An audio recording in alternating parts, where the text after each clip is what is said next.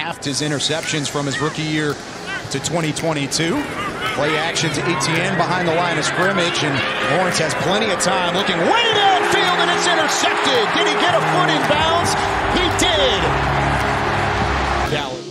Doug Pederson turned to his son and went for it more after Jaguars long snapper got hurt. Jaguars long snapper Ross Matiscik suffered a shoulder injury on his first play in the Jaguars preseason opener, and that led coach Doug Pederson to adjust. Pederson called on his son, backup tight end Josh Pederson, to long snap the rest of the game, although for the most part the Jaguars avoided needing long snappers by going for it on fourth downs and going for two after all four of their touchdowns. Unfortunately, Ross got knocked out of the game on that first punt on the turnover, and so we were out a long snapper for the rest of the game, Doug Pederson said.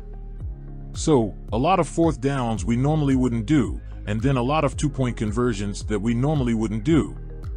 It was good to see. Josh stepped in and had punt snaps and was effective, but we'll see where Ross is at this week.